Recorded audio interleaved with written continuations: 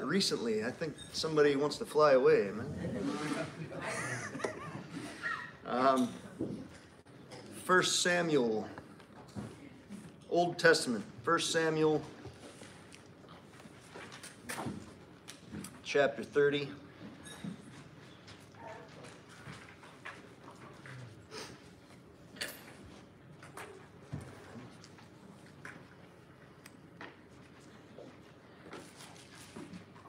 Samuel chapter 30 and verse 1 And it came to pass when David and his men were come to Ziklag on the third day that the Amalekites had invaded the south and Ziklag and smitten Ziklag and burned it with fire and had taken the women captives that were therein.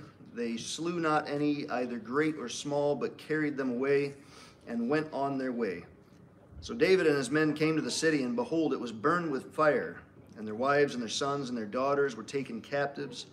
Then David and the people that were with him lifted up their voice and wept until they had no more power to weep. And David's two wives were taken captives uh, Hinoam the Jezreelitess and Abigail, the wife of Nabal the Car- Carmelite. And David was greatly distressed, for the people spake of stoning him, because the soul of all the people was grieved, every man for his sons and his daughters. But David encouraged himself in the Lord his God. Let's pray. Thank you, Lord, for uh, bringing us together this evening. We ask that you will be here in our midst, that you'd put me aside, that you'd speak uh, through your word to the people, to us. Lord, help us to be encouraged to the work ahead of us, and uh, we pray that you will be glorified and uh, lifted up in this service. It's in Jesus' name I pray. Amen.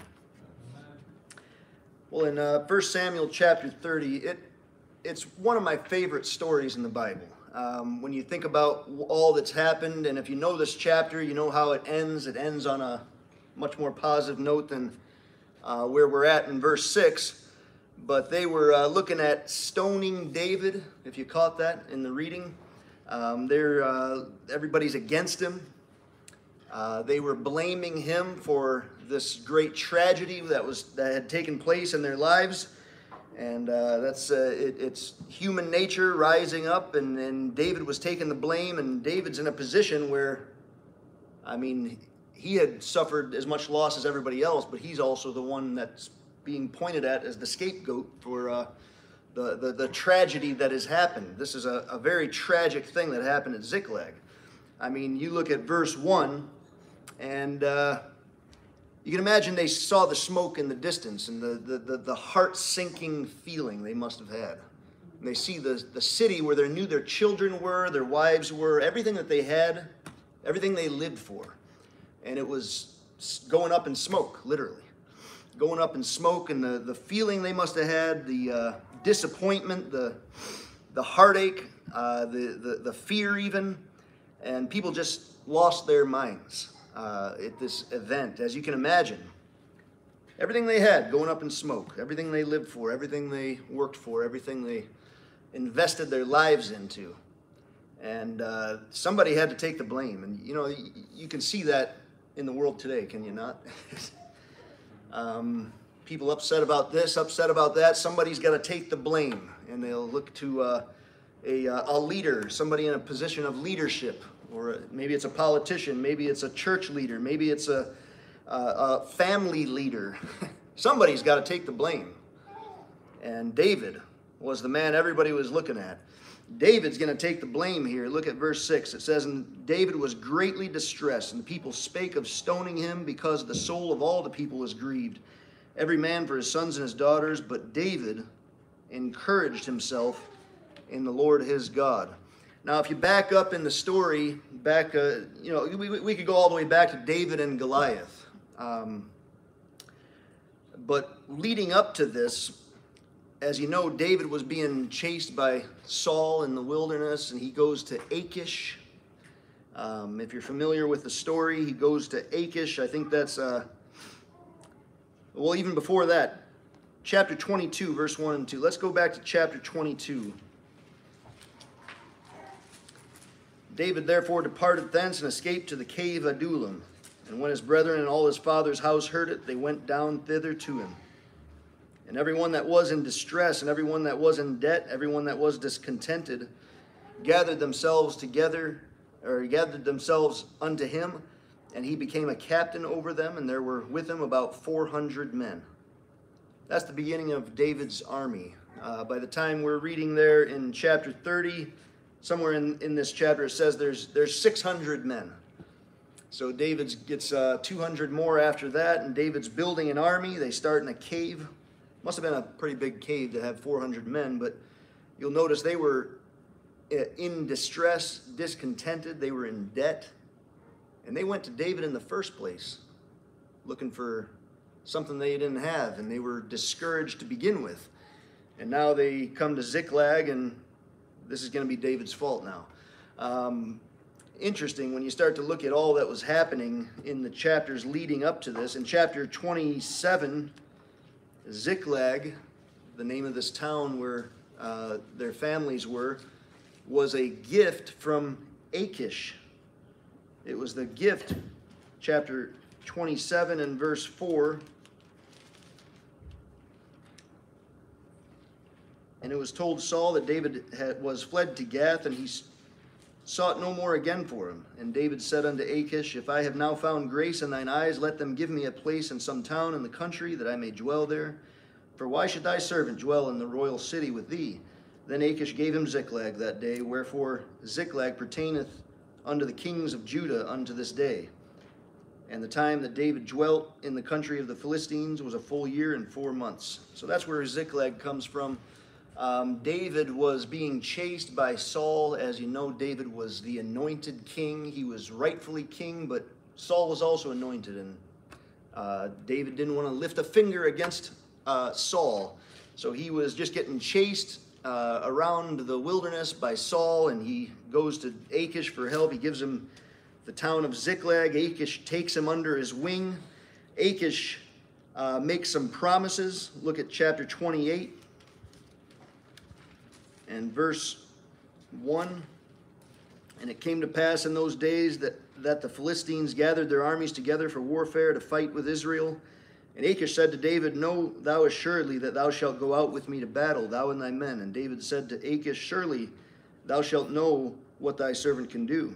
And Achish said to David, Therefore will I make thee keeper of mine head forever. And he makes a, makes a promise. Surely you'll go out with me to battle, and you'll be my the keep you'll keep my head you'll be my protector my bodyguard my guardian forever. And that sounds uh, like flattery like we were he- hearing about earlier uh, today. That was your classic uh, flattery going on there. And uh, david was made a promise which did not come through. Achish's promise there in chapter 28 and you know, in, in chapter 29, he finds out in verse 3 that he could be faultless but not trusted. Uh, Achish even says something kind of like Pilate says about Jesus Christ. He says, I have found no fault in him. At the end of verse 3. We'll read the whole verse. Then said the princes of the Philistines, What do these Hebrews here? 29 verse 3. And Achish said unto the princes of the Philistines, Is not this David, the servant of Saul, the king of Israel? Which hath been with me these days or these years, and I have found no fault in him since he fell unto me this day. Um, he, uh, he, as a type of Christ, even David is there, uh, faultless, but he still Achish couldn't keep the promise, even to a faultless man. Uh, David uh, did his best to be loyal, to be to be without blame in the presence of Achish, and Achish is the one that made the promise. He didn't have to promise him that you'll be going to the battle with us, but he made the promise anyway, and then he didn't keep the promise. So David learned that one um, in chapter 29. Again, in uh, 29, verse 8 and 9, he found that he could be loyal without having his loyalty returned. In verse 8 and 9, it says, And David said to Achish, But what have I done? And what hast thou found in thy servant so long as I have been with thee unto this day? He's the one that said he was faultless. Uh, he's the one that made that uh, flattering claim and of praise, and uh, and David was uh, doing his best, but he says, "What have I done?" that I may not go to fight against the enemies of the, my Lord the king? Verse 9 And Achish answered and said to David, I know that thou art good in my sight as an angel of God. Again, like type of Christ. Uh, notwithstanding, the princes of the Philistines have said, He shall not go up with us to the battle. Nevertheless, the, the, the politicians, the leaders, whoever it is, uh, those in charge, the, the powers that be, are out there, and they won't let me. His uh, hands were tied. Maybe he had been uh, bought off, like political corruption. Uh, nevertheless, David learned some things. He couldn't he couldn't trust any man, but that's what was leading up to this chapter. Now he comes to the burning town where his family was. Um, all that they were fighting for was now gone up in smoke. And uh, after they had been rejected, he found that he could be loyal but not, not have any loyalty returned. His own men start to blame him. I mean, I've been discouraged as a Christian. I've, I've uh, dealt with discouragement, but I, I don't think I've ever experienced anything that quite compares to what David was going through here. I mean, it doesn't get much worse than that.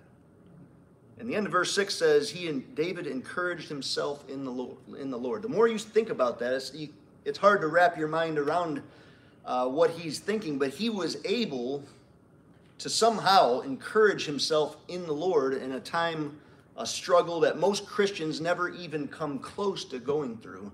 David was able to come through and get victory by the end of the chapter. Uh, so I want to look at when someone is encouraged in the Lord, the signs of how you can tell if you are encouraged in the Lord.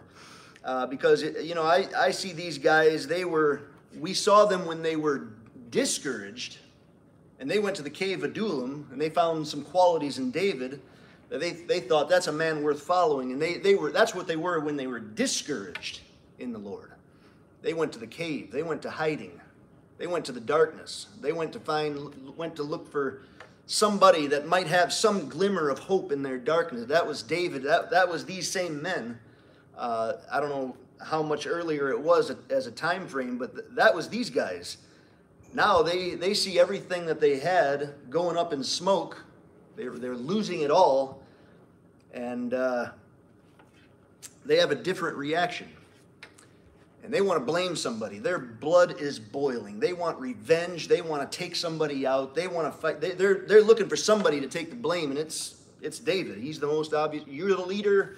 I mean, the buck stops with you. You are in charge. You were responsible. You dropped the ball. I mean, most, I mean, if it's anything like Great Britain, they just step down as soon as people start to point the finger at them. Um, we just lost a uh, prime minister because he made a, a foolish law and it backfired and people started blaming him for things.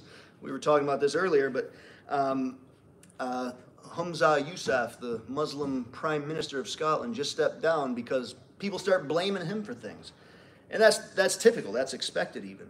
Uh, of leaders, not just in Great Britain, but almost any country, it works this way. You start taking the blame, and everybody starts blaming you. That's time to just quit. Time to quit. Time to step down. That's that's discouragement. And David could have put an end to it. He could have uh, he could have uh, been considering suicide, like most people would do. People without the Lord, and even some Christians think that way. They get suicidal in their thoughts. They think that it's just time to quit. There's no reason to live anymore. Everybody's blaming me, and I'm not perfect. And what's life worth living anyway? It's just time to quit. uh, that's where David was but he encouraged himself in the Lord. How do you suppose he did? You know, it has to do, I think, with.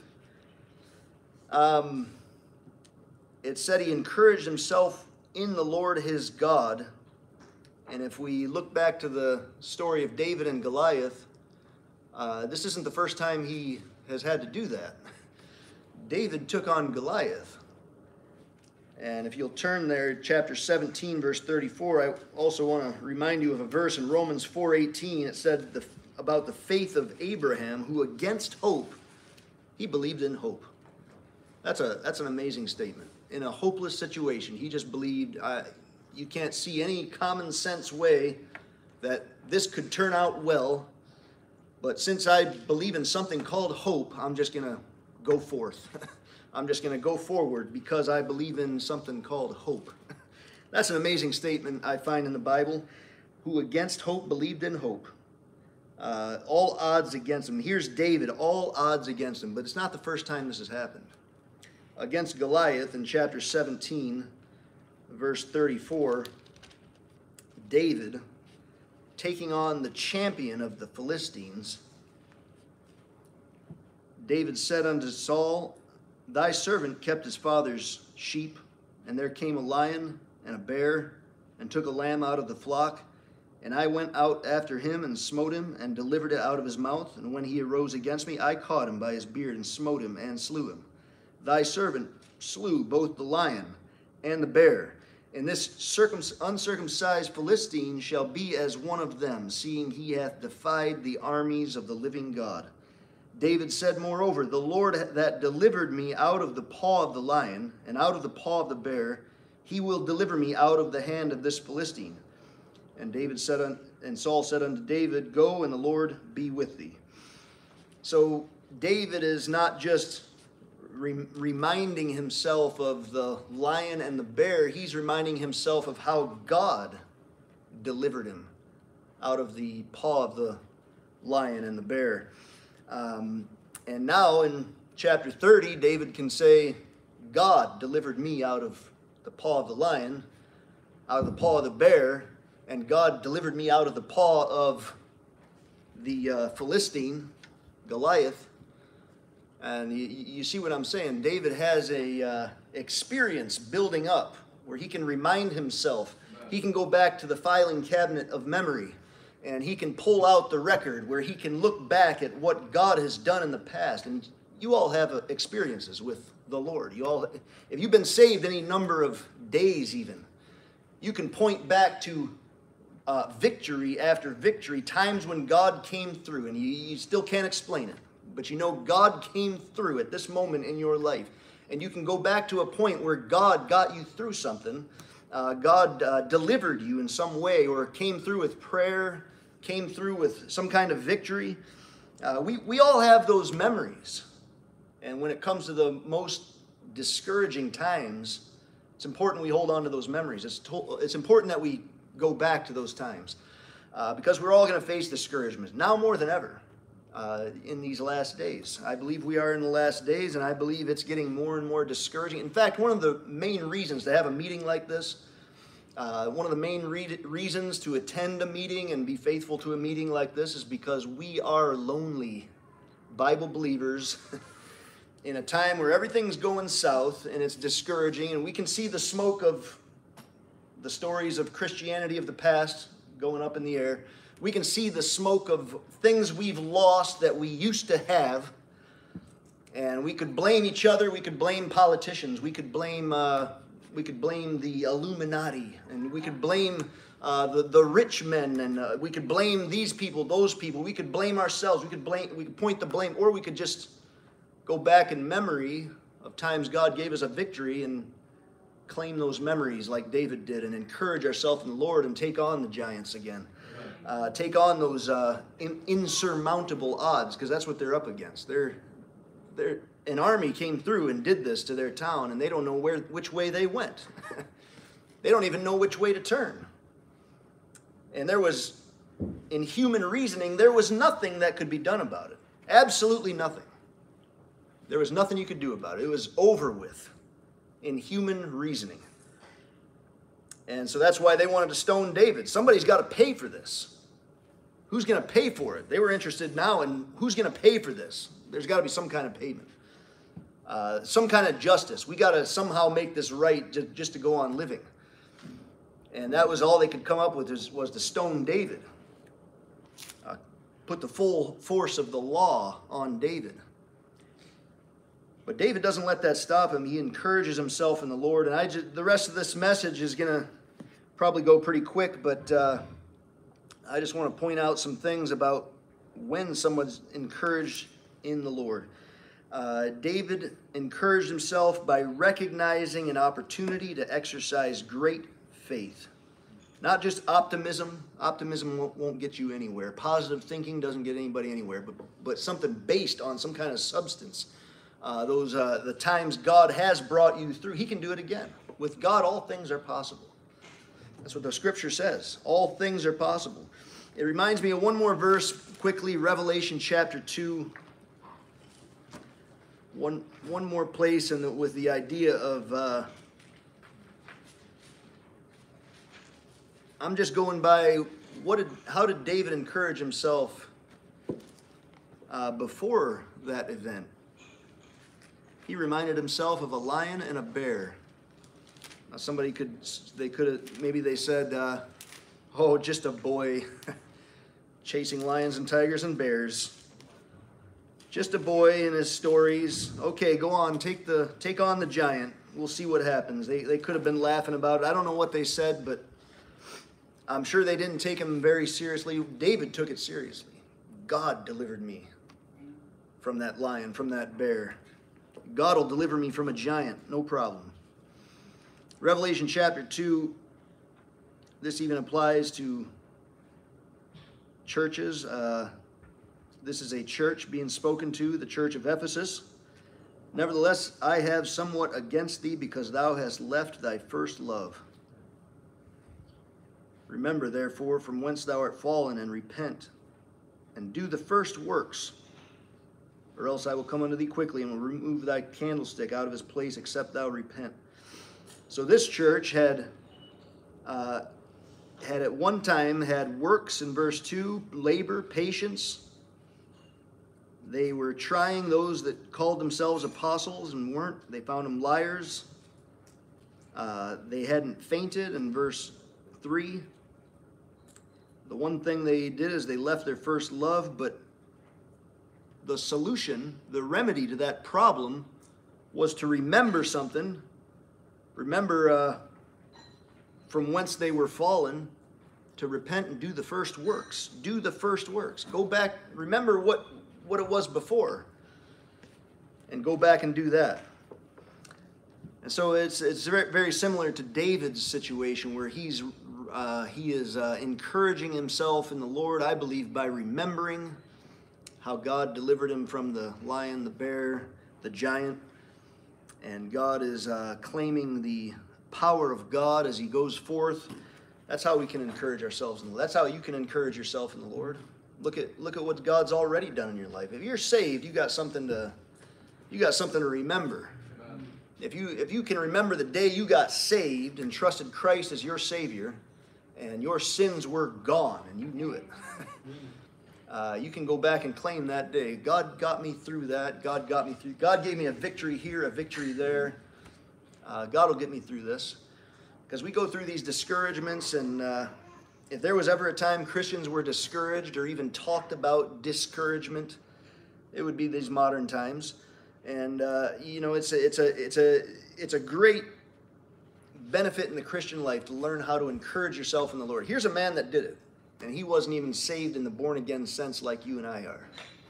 Uh, he was uh, just a man that loved the Lord in the Old Testament, and we have great advantages that David didn't have.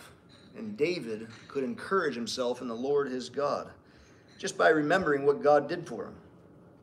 And he could take on an army and God comes through. I think God appreciates it when we when we remember the times He brought us through a great trial in the past.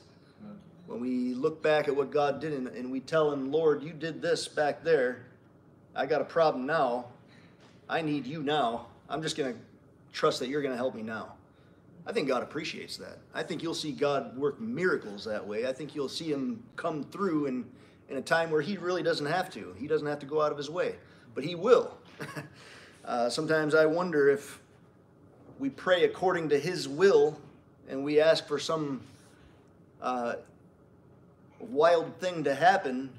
Maybe it was God's will, maybe it wasn't. Maybe He's a little undecided about certain things. He doesn't have to plan everything out. Maybe some things aren't so important to Him as they are to us, if you know what I mean. And uh, Moses told God to repent back there in the Old Testament. It says God repented. Work that one out. and God changed his mind in some way. So maybe maybe God's will is a certain thing, or maybe God's it does it doesn't matter one way or another, but you pray according to His will, and you claim His will, and you maybe God's will changes while you're praying. I don't know how that works, but I think uh, God did something. I think God intervened once David encouraged himself in the Lord. I don't think this was all set in stone from before the foundation of the world. Uh, I, I, think that's uh, nonsense theology. I think God intervenes when He sees somebody uh, with the right heart. And David's, David's heart was right instantly when he encouraged himself in the Lord. He could have easily thrown in the towel, he could have quit, and nobody would have, uh, nobody would have expected otherwise. So, okay, point number one. Point number one. Let's uh, look at verse seven and eight. And David said to Abiathar the priest, Ahimelech's son, I pray thee, bring me hither the ephod. So this is this is somebody that's encouraged in the Lord. And he's in those days they inquired at the oracles of God. They brought the the uh, the uh, ephod where there was the Urim and the Thummim, and they would uh, ask for the the ephod of the of the high priest. And Abiathar brought thither the ephod to David, and David inquired at the Lord. That's how they did in the Old Testament. David's asking the Lord something through this ephod, saying, I sh- Shall I pursue after this troop? Shall I overtake them? And he answered him, Pursue, for thou shalt surely overtake them, and without fail recover all. You're able to find his will. Uh, somebody that's encouraged in the, in the Lord is able to find God's will. Uh, so many Christians out there looking for God's will in their life, praying for this. God, is this your will? Is this your will? Uh, what, what can I do? What do you want me to do to serve you? Uh, how can I serve you? Uh, maybe God's just waiting for you to encourage yourself in the Lord first. and maybe you're not getting the answer of what His will is because you haven't done the, the first step, which was encourage Himself in the Lord. Uh, he, when you're encouraged in the Lord, you're able to find His will crystal clear, clear as a bell. And you pray, and God will give you something, and and you, you know it as, as much as you know you're saved. You know you're you're you're supposed to do this thing, and uh, that's how God's will works. Sometimes it can be very crystal clear. That's how that's how it was for David. He gets an answer. He gets an answer. He gets some confidence. He's still looking for God's permission. He's still putting himself in a sub- point, position of submission. He wasn't just, oh, I'm big and bad. I'm going to go after the enemy myself. No, he's not trusting the flesh. He's not thinking he's going to do anything to an army. He's putting himself in his right, right place and asking permission of God, even though he's encouraged. He wasn't encouraged in the flesh. Uh, I didn't. I didn't get that point across quite right. I guess where these guys that were uh, the same guys that were discouraged going to the cave, now they see everything go up in smoke. They're encouraged in the flesh. David was encouraged in the Lord. Those guys that wanted to stone him, they're encouraged in the flesh. You can see the difference. You can see the difference in, in the in the world we live in. There's uh, there's the, the the, the division of people is happening where the, you got the, the the far left, the far right, as the media calls us and everybody's getting divided farther and farther apart and these guys are blaming those guys you got saved and lost on both sides and uh, it's uh, it's it's not it, it's some people are being divided people are being divided and it's it's because they're all looking for somebody to blame just like they looked at david they were encouraged their blood was boiling they wanted to fight they wanted to take up arms and they wanted to put it all against David. They thought they found an enemy. Um, isn't that like today? That's, it's, it's like today. Everybody's upset. Everybody thinks that everything it should be better. And we could all say it's gone up in smoke. Um, but they were uh, encouraged in the flesh, not encouraged in the Lord. Here's one man out of 600 that's encouraged in the Lord. Isn't that something? It's always a small minority it's always that small percentage that God is uh, God's using.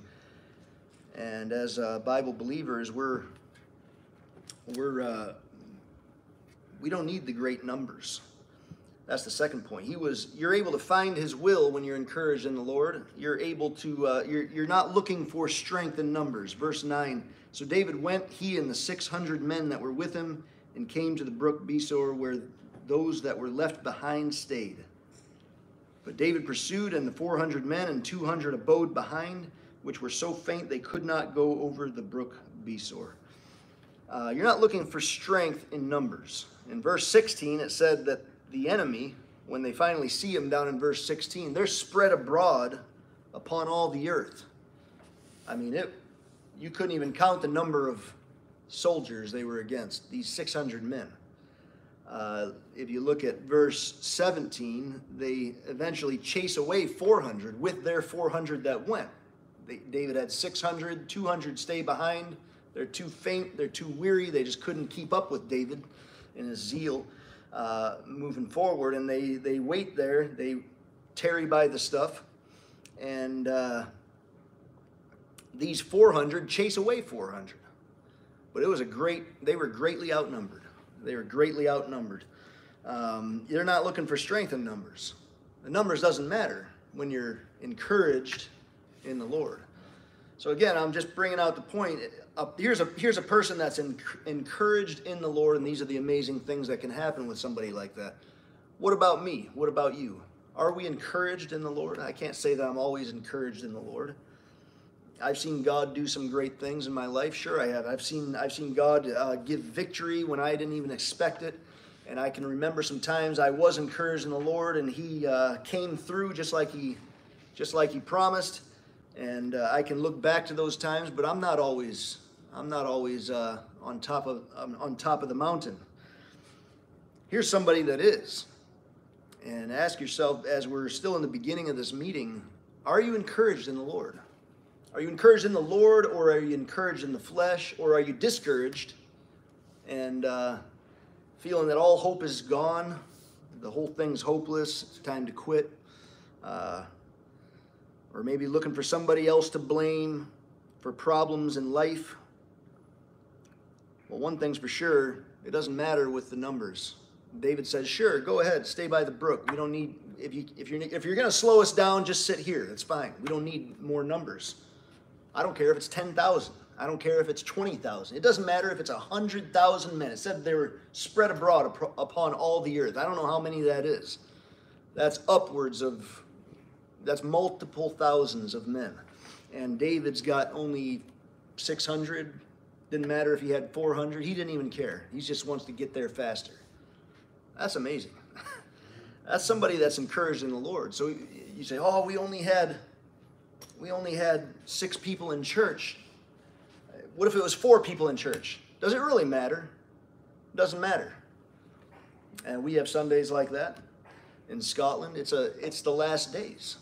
What matters is that you keep going forward. What matters is that you keep sticking by the stuff. What matters is that you're encouraged in the Lord and doing it for God and not for the flesh. Uh, that's what matters. And that, that's something David understood and had no problem with. But you look at modern Christianity, they're all, all about the numbers.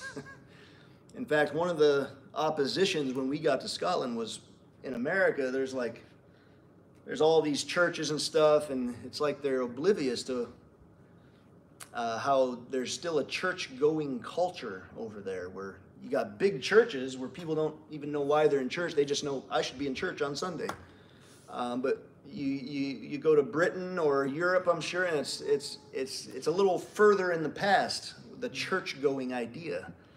And uh, so the, we find that there's denominations of all kinds that are doing evangelistic things, and they're outreach, outreach, all these things, inviting people to come into the buildings. They're all desperate. They're all falling away. They're all they can't get attendance.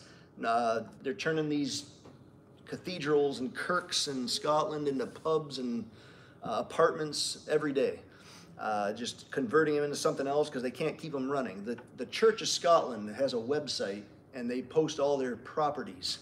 And I've kept an eye on it over the years. They, there used to be like four or five. Last I just got on there like last week and I looked, there's like 60, over 60 properties for sale, church buildings in Scotland for sale. The only way the whole, that's a state funded religion, the Church of Scotland, that's the state church. and they are so desperate that the only way they're surviving is by selling off old properties. That's how bad it is. And I'm sure you could tell me similar stories of, of uh, here in Europe. Uh, but it, numbers still don't matter. And all the, all the carnal, contemporary, fleshy churches, they think it's all about numbers. Get them in. It doesn't matter how you get them in. Uh, put on the rock concert, play the drums, uh, offer drinks and food and everything else, and popcorn and coffee shop and when you get into church, neon lights that work. Get the people in. It doesn't matter how. And that's the, the kind of thinking that goes on. But that doesn't get the job done.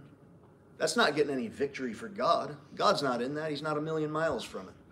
And it's, uh, it's a sad condition to be in. But David wasn't in that condition. Why? He wasn't encouraged in the flesh, he was encouraged in the Lord. He wasn't leaning on the arm of flesh, he was leaning on the arm of the Lord. There's a big difference.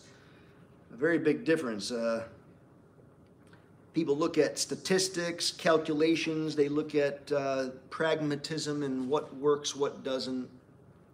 The end justifies the means. Uh, all that goes on today in the name of numbers. Just get people in. But that's not where strength is. David knew that's not where the strength was. I'm just pointing things out. Verse 11 it said, And they found an Egyptian in the field and brought him to David and gave him bread, and he did eat, and they made him drink water. And they gave him a piece of a cake of figs and two clusters of raisins, and when he had eaten, his spirit came again to him, for he had eaten no bread nor drunk any water three days and three nights. And David said unto him, To whom belongest thou? And whence art thou? And he said, I am a young man of Egypt,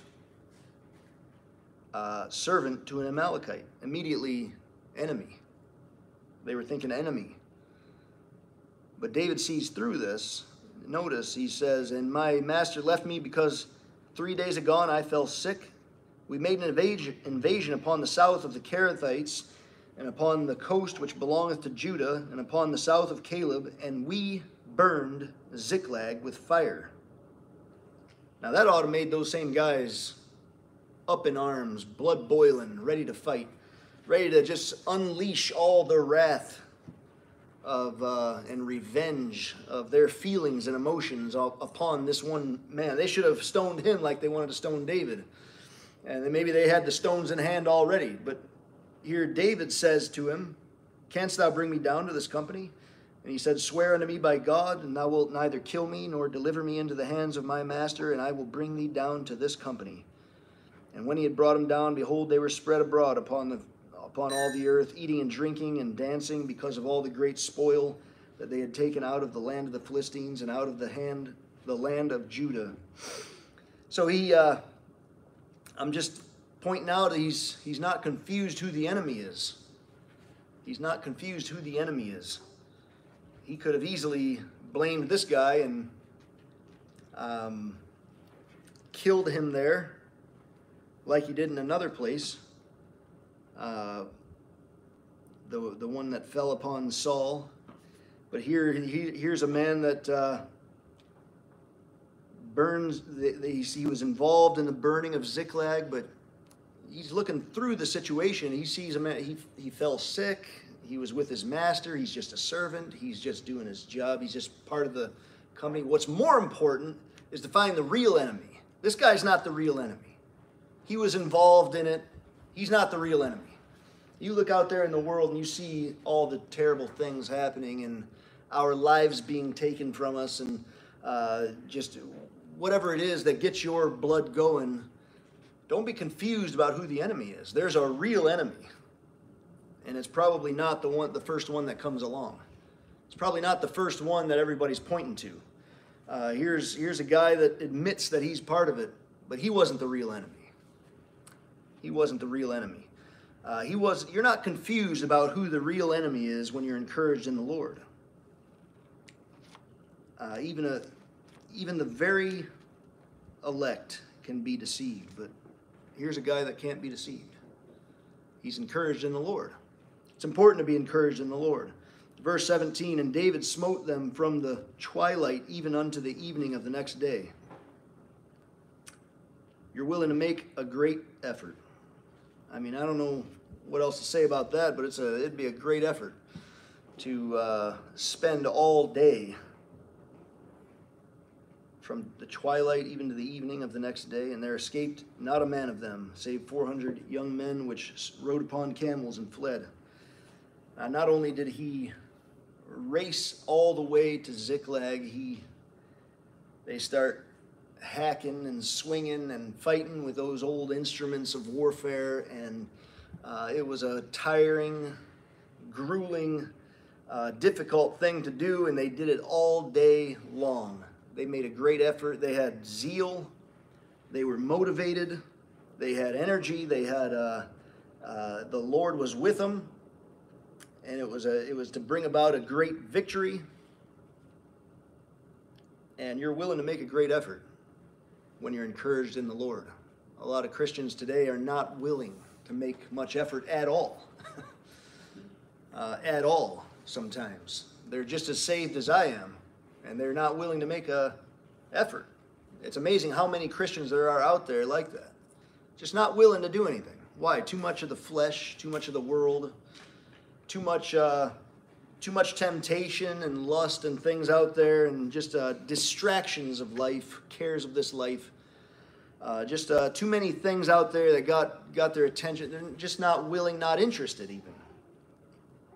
But when you're encouraged in the Lord, that's very different than being encouraged in the flesh, and it's very different than being discouraged altogether.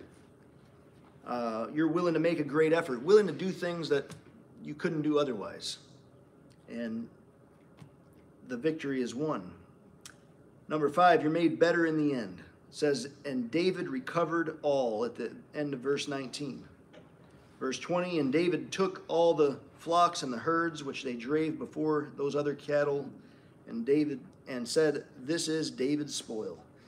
Uh, you could you can almost start to hear the joy in his verse. That that voice of triumph is coming through now. He's this is David's. This is uh, this is something to talk about. Um, they're they're getting the, they're getting the victory, and sometimes you think back to those moments of victory in life, and it's like a a golden uh, beam in the memory of you think back, and it's just you can almost hear the the uh, you can almost hear the sounds of heaven when you know God was in something in your life, and and He gave, gave you a great victory. It can be a joyful time. But you're made better in the end. He was restored. He was recovered all. He said, "This is David's spoil." They they uh, restored all that they had before and then some. They got more than they had before, like Job when he went through his trial. God gives you more in the end than he than you had in the beginning, when you're willing to go through something for God. Uh, this is an, an encouraged person, someone encouraged in the Lord. You'll give no attention to greed Verse 23 Then said David, Ye shall not do so, my brethren, with that which the Lord hath given us, who hath preserved us. I should have backed up to verse 21, where there, this is about the 200 men that waited by the brook. They were too faint, too weary. Verse 22 they were these men of Belial, evil men, wanted to. Uh, take the spoil that they had. They wanted to take their wives and their children and uh, have it for themselves. What a selfish, evil thing.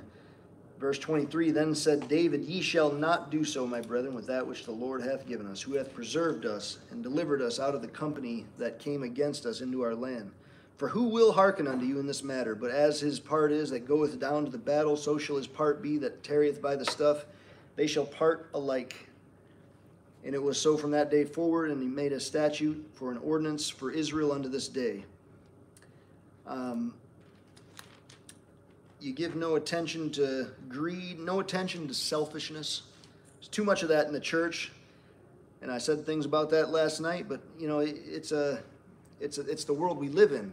Men lovers of their own selves, and people get focused on the self, even if they don't aren't completely in love with themselves, like the world but he, even that attention, we get get caught up in the selfishness of this uh, world we live in. And here's some guys. They David wasn't David wasn't mindful of that at all. He's like, that does not belong to us, and you're going to give it back to them.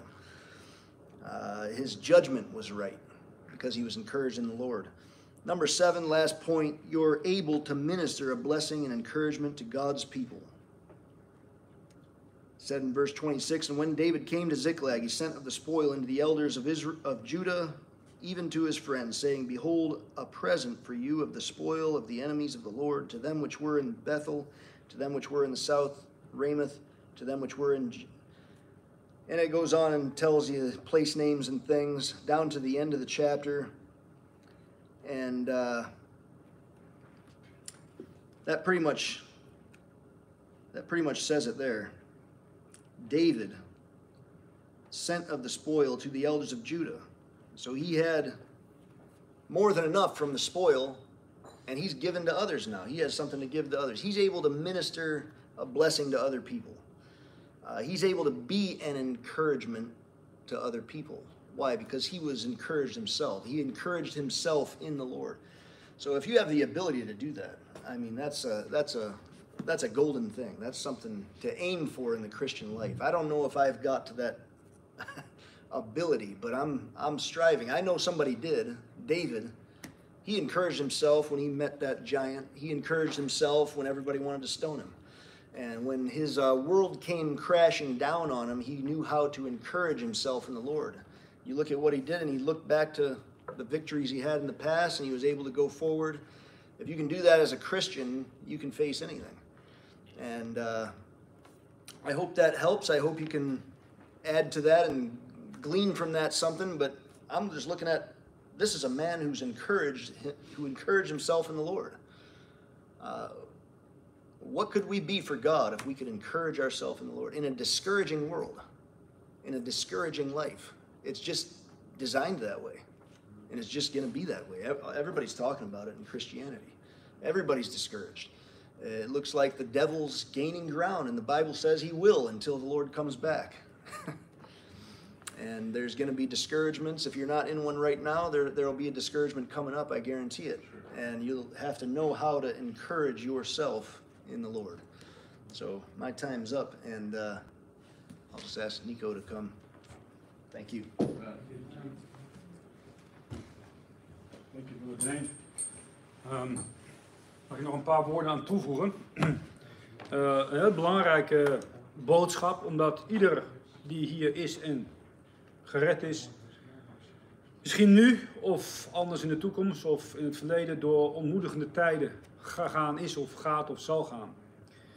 En dat is normaal als je als bijbelgetrouwe christen Jezus Christus navolgt in een wereld die door de God van deze wilde duivel geleid wordt. En dan kan het zo zijn dat je ook als voorganger, als christen, bepaalde dingen doet. En die werden ook genoemd in die gemeente in Efeze, in Openbaring hoofdstuk 2. En daar worden een paar dingen genoemd in vers 2, hoofdstuk 2, vers 2.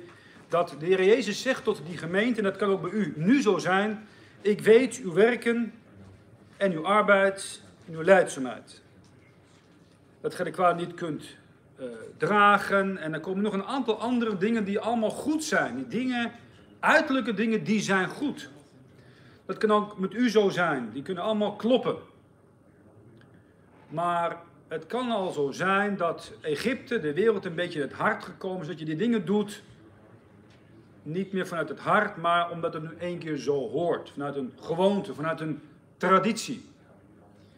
En als we dat vergelijken, wat in hoofdstuk 2, vers 2 staat, en dat vergelijkt met een hele jonge gemeente, die de eerste liefde nog had in de eerste gemeente in Thessalonica, in 1 Thessalonicense hoofdstuk 2, vers uh, pardon, hoofdstuk 1, vers 3, dan zien we daar staan dezelfde woorden, het werk, uh, arbeid en verdraagzaamheid, maar er wordt een woordje bij ieder aan toegevoegd. In 1 Thessalonicense 1, vers 3 lezen we daar het werk uws geloofs. Dat was er niet meer bij bij die gemeente in Efeze. De arbeid der liefde. En de verdraagzaamheid der hoop. Dan hebben we die beroemde geloof, hoop en liefde. Eén keer in de dertien. En de meeste van deze, de grootste van deze, is de liefde. En de liefde van Christus die dient ons te dringen om voor hem iets te doen, om als voorganger, zendeling, uh, uh, wat dan ook, een zegen te zijn voor de Heer. En als die eerste liefde er niet meer is, omdat hij, je hebt geen tijd met de Heer gehad, dus was onbekende zonde, wereldsgezindheid, te, te veel op het internet of wat dan ook, dan is het allemaal een sleur geworden, een moeten geworden. En daar kun je als christen heden ten dagen heel snel in vervallen. En dan merk je soms, zoals bij David, uh, dat je een. Uh, David heeft ook een paar fouten gemaakt. Hè? Hij, was, uh, hij maakte compromissen. Hij ging naar Agis, had helemaal niet naar Agis moeten gaan, hulp zoeken bij een Filistijnse koning. En toen was hij er één keer beland en moest hij ook nog vechten met zijn soldaten tegen zijn eigen mensen. Dat had hij nooit moeten doen. Hij had zich verlaten op wereldgezinde christenen, zou je kunnen zeggen, of vijanden van het kruis. En als je dat doet, dan verlies je de kracht die God je heeft gegeven. De kracht die God je geeft ligt in de afzondering, in de tijd met Hem. Niet in getallen. Dat is nooit zo geweest. Als je een grote kerk wil hebben, dan moet je katholiek worden. Dan heb je 1 miljard medegeloofsheidenen. Uh, dat is alles wat ze zijn, heidenen. En ik heb een jaar geleden een, oude broeder die zei tegen mij: Verhoef, als je uh, uh, mensen wil trekken met entertainment, vergeet dan niet dat je ze alleen maar met entertainment kunt houden. Dat is zo. Als je ze wint door het evangelie te preken, dat is de kracht van God. En die is te voeden met het woord van God. En die je relatie met de Heer goed te houden. Het is altijd een minderheid geweest. Uh, de Gideon's Gang, hij begon met 32.000 man geloof ik. En hem, dan heb je daar, ken je die, die Hells Angels? Dat is de 1%ers. Uh, 1%ers, sorry dan. Nou ja, Gideon's Gang was een 1%er. Na 32.000 man had de Heer gezegd, nou ja, twee schriftingen, 300 over. Ah, daar hadden we 1% over. En hij moest al vechten met 20.000 man tegen 120.000 man. Ze had gedacht zo, nou, 1 tegen 4. En dan had hij 1% over, 99% die was te laf of te lui. Die kon hij wegdoen. Die waren niet getraind. Dus hij moest met 300 man tegen 120.000 midden niet te strijden. En de Heer zegt, weet je waarom de Heer dat doet? Weet je waarom de Heer niet zoveel mensen misschien geeft in de gemeente? Dat als de Heer iets doet of als er iets gebeurt, dan weet je, het is de genade en de kracht van de Heer. En ik kun je nooit zeggen, het is op grond van mijn geweldige prediking of persoonlijk zielewinnen. Uh, soms ben je omringd door vijanden. Jesse Poeler zei ooit eens een keer, uh, de meest bekende marine in de geschiedenis van de Verenigde Staten. Toen werd hij opgebeld, ja, waar waar is de vijand? Nou zei Poeler, ik zal hem even de lijn geven. Weet je nog van die lijnen, hè, die landlines. Um, en die marines zeiden dan, ja, we zijn omringd. Nou zei Poeler dat, geweldig, dan kan de vijand ons niet ontvluchten. Dan kunnen we aan elke kant aanvallen, dan hebben we altijd vijanden die we kunnen verslaan. Dat is moraal. Moraal is zeker meer dan de helft van de slagkracht van een gemeente of een leger. En uh, ik wil er nog uh, een paar dingen over zeggen. Wat heel belangrijk is, als, als je um, in een kleine groep bent, dat je altijd het initiatief houdt. Altijd. Als je het initiatief verliest in de tijd van onmoediging, dan kan je zo weggevaagd worden. Uh, kom naar 2 Samen hoofdstuk 10 als voorbeeld. Is een hele belangrijke boodschap. 2 Samuel hoofdstuk 10. Vers 9 tot en met 14. Het is een situatie als de Syriërs en de Ammonieten samen zweren om Israël te vernietigen. Je kan het heden ten dagen vergelijken met uh, verschillende moslimgroepen die uh, in het Midden-Oosten Israël de zee in willen drijven. Van de rivier tot de zee heb je die slogan dan. En hier zie je een voorbeeld hoe uh, toen de tijd de overste van het leger van Israël gehandeld heeft. Vers 9 van 2 Samuel hoofdstuk 10. Toen Joop zag dat de spits der slagorde tegen hem was, van voren en van achteren, zo verkoos hij uit alle uitgelezenen van Israël en stelde hen in de orde tegen de Syriërs aan. Het overige des volks gaf hij onder de hand van zijn broeder Abizai, die het, het in orde stelde tegen de kinderen Ammons aan. En hij zeide, zo de Syriërs mij te sterk zullen zijn, zo zult gij mij komen verlossen. Zo de kinderen Ammons u te sterk zullen zijn, zo zal ik komen om u te verlossen. En Een vers om te, uit je hoofd te leren. Wees sterk en laat ons sterk zijn voor ons volk en voor de steden onze Gods. De Heere, nu doe wat goed is in zijn ogen. Nu, ze moesten sterk zijn. Zien zich te bemoedigen. Hoe deed hij dat? Vers 13. Toen naderde Joab en het volk dat bij hem was, dus de ene helft van het leger, tot de strijd tegen de Syriërs. Dus je ziet hier, ze zijn omringd. En het laatste wat een minderheid verwacht wordt te doen, het initiatief nemen en aanvallen. Dat is precies wat hij doet. Ze nemen het initiatief en ze vallen een grote meerderheid aan. Wat gebeurt er? Einde van vers 13. En zij, dat zijn de Syriërs, vloden voor zijn aangezicht. Wat is het punt? Het punt is angst. De God van deze wereld wordt genoemd de koning des verschrikkens in het boek Job. En weet je hoe hij je probeert te ontmoedigen? De angst. Intimidatie. Hij is de perfecte intimidator. Vers 14, als de kinderen Ammon zagen dat de Syriërs vloden, vloden ze ook voor het aangezicht van Abisi en kwamen in de stad. Job keerde weder van de kinderen Ammons en kwam te Jeruzalem. Dus de ene groep vlucht en zegt de andere allemaal, ja, dan moeten wij alleen vechten tegen een leger wat één vijand heeft. Twee verantwoordelijkers weg, dan vluchten wij ook. Dus ze hebben zijn initiatief genomen en ze hebben de oorlog zo gewonnen. Dat is waarom de Heer in het Nieuw Testament zegt, ga heen en predik. Ga heen en leer. Ga heen en getuig. Ga heen en zijn mijn getuigen. Het handeling is altijd gaan, getuigen, dan komt er verdrukking, gemeente ontstaan en dan ga je verder. En het hele idee ten dagen is, velen worden ontmoedigd, maar ze worden passief. Daarom is straatprediking zo belangrijk, of getuigen, dat je het initiatief neemt. En als je dat gaat verliezen, dan krijg je gegarandeerd problemen in je persoonlijk leven of in je gemeenteleven. We hopen morgen ook de straat op te gaan, voor ik het vergeet. Dus mocht u plannen maken, ik zou willen voorstellen dan dat op donderdagmiddag, vrijdagmiddag te doen, maar dat we morgen die tijd kunnen nemen, als u wil althans, om mee te gaan naar Leeuwarden om het evangelie van de genade van God te brengen. En laatste wat ik nog graag wil uh, meegeven aan u, is uh, hoe David heel eerlijk is in het verdelen van de buit. Hij is niet uh, iemand die op zijn geld zit, zeggen we maar in het Nederlands. In 1 Samuel hoofdstuk 30 vers 24 dan zien we dat die 600 man onderverdeeld worden in een groep van 200, die kan niet verder. Die 400 die sterk zijn, die trekken verder en die verslaan die Amalekieten en die brengen de hele buit terug. En dan zeggen die 400, nou ja, voor de extra buit, wat we dat doen, die 200 krijgen vrouwen en kinderen terug, maar verder krijgen ze helemaal niks. En wij, 400, verdelen dat hele extra onder onszelf. En die 400 krijgen niks, dus ze krijgen een derde meer, zou je kunnen zeggen, per man, als dat ze anders zouden krijgen als iedereen gelijk verdeeld zou worden. En dan zegt David in vers 24 van 1 Samuel 30, wie zou toch lieden in deze zaak horen? Want gelijk het deel degene is die in de strijd mede afgetogen zijn, alzo zal ook het deel degene zijn die bij het gereedschap gebleven zijn. Ze zullen gelijkelijk delen. Dat is een heel belangrijk principe voor bijvoorbeeld uh, mensen die als mannen de straat op gaan en het evangelie brengen en zielen winnen.